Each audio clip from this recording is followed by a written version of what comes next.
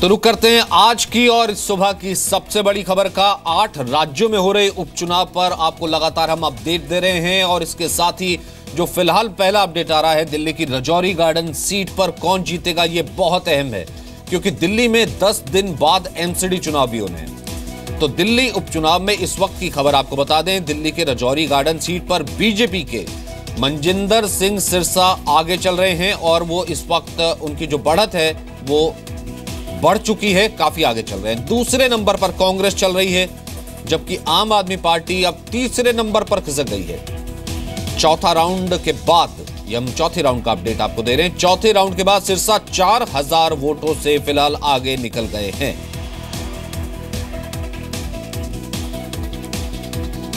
ਹਰ ਸੂਰਤ ਅੰਦਰ ਲੋਕਾਂ ਨੇ ਮਨ ਬਣਾਇਆ ਹੈ।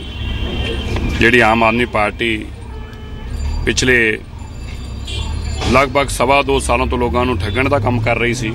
ਉਹ ਐਕਸਪੋਜ਼ ਹੋ ਗਈ ਆ। ਲੋਕਾਂ ਨੂੰ ਪਤਾ ਲੱਗ ਗਿਆ ਕੇਜਰੀਵਾਲ ਇੱਕ ਬਹੁਤ ਬੜਾ ਨੋਟੰਕੀਬਾਜ਼, ਡਰਾਮੇਬਾਜ਼ ਔਰ ਫਰਾਡ ਆ। ਔਰ ਲੋਕ ਉਹਦੀ ਜ਼ਮਾਨਤ ਵੀ ਜ਼ਬਤ ਕਰਾਉਣਗੇ, ਕੇਵਲ ਸਾਡੀ ਜਿੱਤ ਹੀ ਨਹੀਂ ਕਰਾਉਣਗੇ। ਸਾਨੂੰ ਨਿਸ਼ਚੈ ਇਸ ਗੱਲ ਉੱਤੇ ਸਾਡਾ ਵਿਸ਼ਵਾਸ ਹੈ ਇਸ ਗੱਲ ਉੱਤੇ ਲੋਕਾਂ ਦੀ ਇਸ ਮੱਤ ਉੱਤੇ।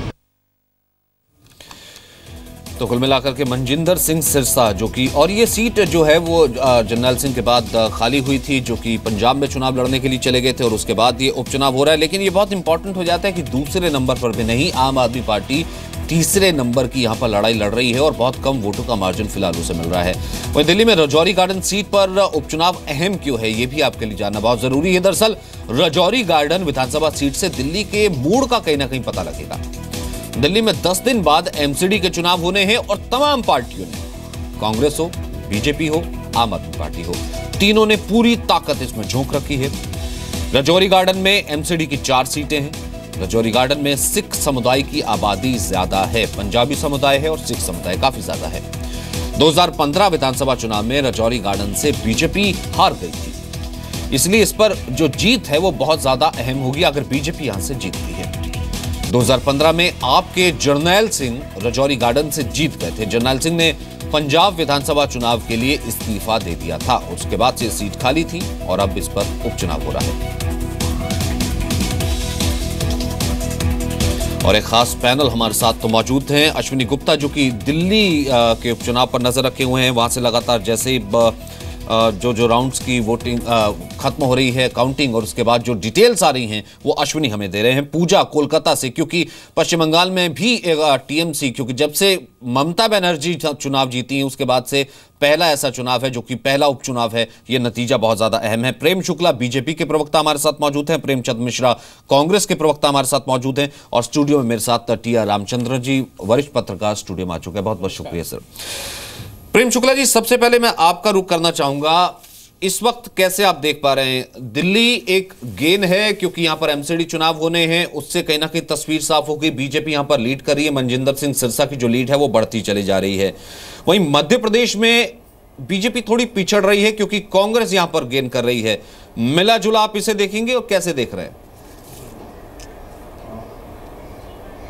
नहीं, मिला जुला ज़्यादा सबसे महत्वपूर्ण है कि दिल्ली में जहाँ आप एकदम करिश्माई ढंग से उभरी थी और जिस तरह से आप तीसरे नंबर पर फेंकी गई है, अब जनता जो है, आप नाम का जो राजनीतिक कचरा आया था एक लहर के साथ उस राजनीतिक कचरे को झाड़ू से जिस तरह से साफ़ कर दे रही है, वो एक बड़ा संकेत जो है पूरे देश के लिए है कि न केवल पंजाब में हारे, बल्कि पंजाब में जो है, जो उपचुनाव जिस कारण राजौरी गार्डन में हुए, वो व्यक्ति पंजाब में भी उनका कैंडिडेट हारा। आज यहाँ पर न केवल हार रहा है, बल्कि तीसरे क्रमांक पे जा रहा है।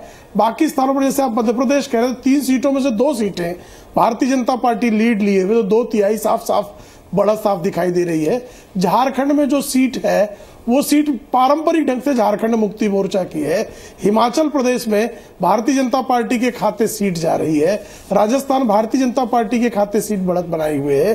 तो ये साफ़ संकेत है कि भारतीय जनता पार्टी का जो विजय का अश्वमेध रथ है, वो सतत चल रहा है और अश्वमेध रथ के नीचे इस बार नौटंकीबाज केजरीवाल जो है, वो बुरी तरह से खींचते हुए घसीट कर पीछे लगे हुए हैं ऐसा दिखाई दे रहा है। और जो आपका दर्प था वो पूरी तरह से जो है दिल्ली की जनता ने कुचल दिया ये- और एमसीडी इलेक्शन का जो भी जो कह रहे है हैं कि ये जो संकेत फ़िलहाल विजय अभियान चल रहा है ये एमसीडी चुनाव तक इस तरीके से कंटिन्यू रहेगा ये नहीं रहेगा या फिर कांग्रेस की इस पर क्या प्रतिक्रिया वो हम जानेंगे। प्रेमचंद मिश्रा भी हमारे साथ मौजूद है। उससे पहले मैं जल्दी से अश्विनी से एक अपडेट ले लेता हूँ। अश्विनी इस वक्त क्या चल रहा है? कितने राउंड की गिनती जो है वो पूरी हो चुकी है और फ़िलहाल का अपडेट फ़ोन करता हूँ, हैं? देखिए आठ राउंड की पोलिंग जो है वो इसमें पूरी हो चुकी है और मनजिंदर सिंह सिरसा जो है करीब छत्तीस सौ, छत्तीस हज़ार वोटों से छत्तीस सौ वोटों से अपनी बढ़त जो है बनाए हुए हैं। एक सचिन, एक जो बात है वो सबसे ज़्यादा इंटरेस्टिंग है। आम आदमी पार्टी जो है, वो तमाम राउंड इसमें हुए हैं, लेकिन किसी भी राउंड में चार अंकों के फिगर तक नहीं पहुँच पा रही है। किसी फिगर में 200 किसी में 400 हर राउंड में इसी तरह से वोट जो है वो आम आदमी पार्टी के उम्मीदवार को मिल रहे हैं। और अब एक बड़ा खतरा आम आदमी पार्टी के उम्मीदवार पर ये मंडरा रहा है कि कहीं इस चुनाव में उसकी, उनकी जमानत ना जब्त हो जाए। हमारे साथ इसमें राजीव बब्बर हैं, दिल्ली बीजेपी के उपाध्यक्ष हैं। राजीव जी बड़ी जीत आप लोगों के लिए एक बड़ा बूस्ट माना जाएगा यहाँ पे।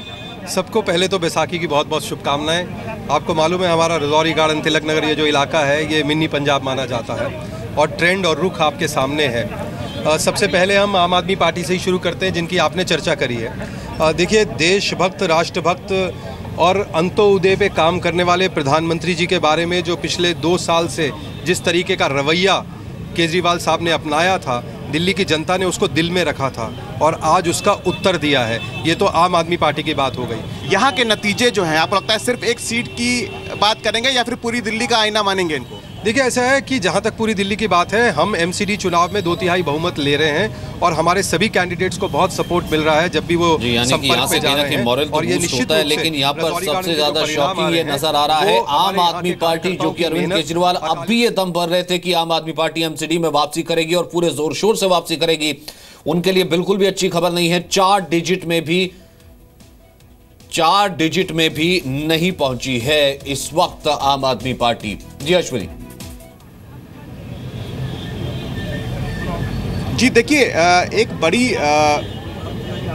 एक बड़ी इसमें देख सकते हैं जो तमाम राउंड लगातार हो रहे हैं। सभी राउंड में आम आदमी पार्टी के उम्मीदवार को किसी में 200 सीटें मिले, किसी में 500 सीटें मिले, किसी में 400 सीटें मिली, किसी भी राउंड में हज़ार से ज़्यादा सीटें अभी तक नहीं मिली हैं। कुल मिला के तीन हज़ार से कुछ ज़्यादा सीटें आम आदमी पार्टी को इस समय मिली हैं और एक बड़ा खतरा अब ये मंडरा रहा है कि क्या आम आदमी पार्टी के उम्मीदवार की जमानत जब्त हो जाएगी। अगर ऐसा होता है तो ये दिल्ली सरकार के लिए, आम आदमी पार्टी के लिए एक बड़ा झटका होगा और जो तमाम दावे अरविंद केजरीवाल, दिल्ली सरकार लगातार आम आदमी पार्टी ये कर रही थी कि दिल्ली की जनता उनके साथ है, उसका कहीं ना कहीं एक आईना जो है इस सीट के ज़रिए उनको दिखाई पड़ेगा। लगातार मंजिंदर सिंह सिरसा बढ़त बनाए पड़े हैं। हालाँकि हम आपको बताएँ कि कांग्रेस की जो उम्मीदवार है मीनाक्षी चंदीला वो टक्कर ज़रूर दे रही हैं। किसी किसी राउंड में उनकी जो गिनती है वो आगे हो जाती है लेकिन जो लीड है वो लगातार कितने राउंड सिंह अश्विनी सिरसा बाकी की आगे बनी हुई है। लगातार इस वक्त भी करीब 3600 की लीड जो है वो मंजिंदर सिंह सिरसा की इस इस समय भी बनी हुई है।